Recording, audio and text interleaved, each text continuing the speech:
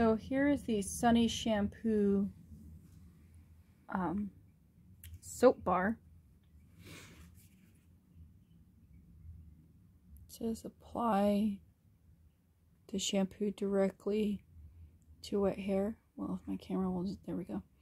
Massage into thick foam is obtained. Rinse as usual.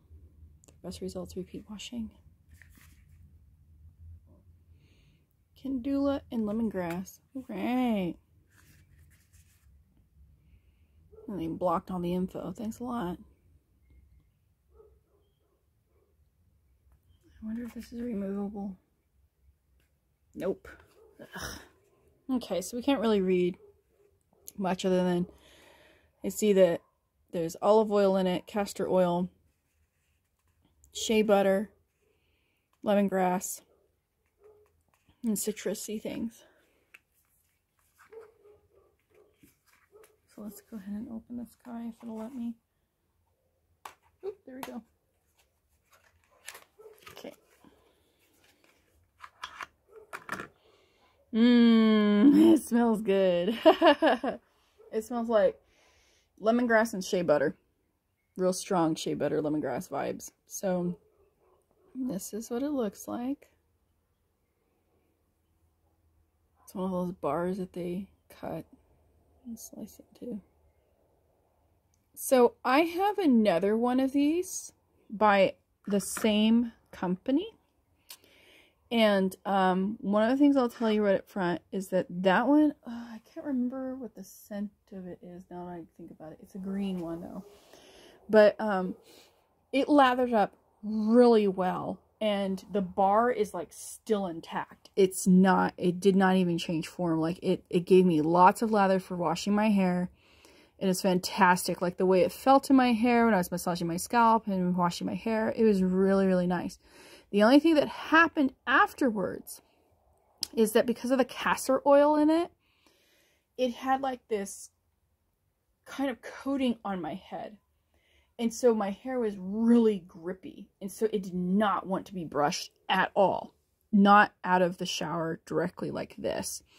And so I was like, oh man, because like I was thinking, you know, for camping or like, you know, traveling, this is so awesome because you just have your shampoo and you don't have to carry like liquids and stuff and your shampoo's ready to go. And this really will last a very long time. Now, um, something I did discover though, is that if you use that and you apply conditioner from root to tip, like you have to do the full-on conditioner, and I just use like an argan oil based conditioner, when I put that in and I mixed it with a little um, with a little oil that was like uh, just like some some extra argan oil, it did really well with combing my hair. And then when my hair naturally dried, it was like really nice it just felt nice. I knew that that olive oil, the, the castor oil, the shea butter was still on my hair. But the thing is, it hasn't allowed my hair to dry out. And that argan oil conditioner is not like a very high quality one. It's just a real basic one to just do the job. And so it just felt really, really nice. My hair had nice um, movement to it. And so um, this one says for more volume for hair types for frequent use? I'd say yes. Um, I bet you this is going to be really nice. So I'll be using this one too. So I will just say that it lasts forever.